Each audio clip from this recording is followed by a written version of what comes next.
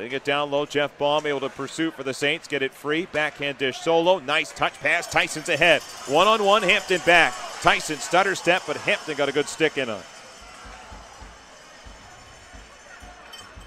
Hampton puffed it up. Right circle Solow. Centering pass. Score!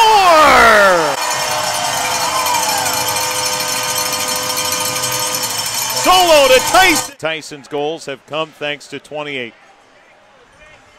Got it again with a beautiful move. Backdoor look, score!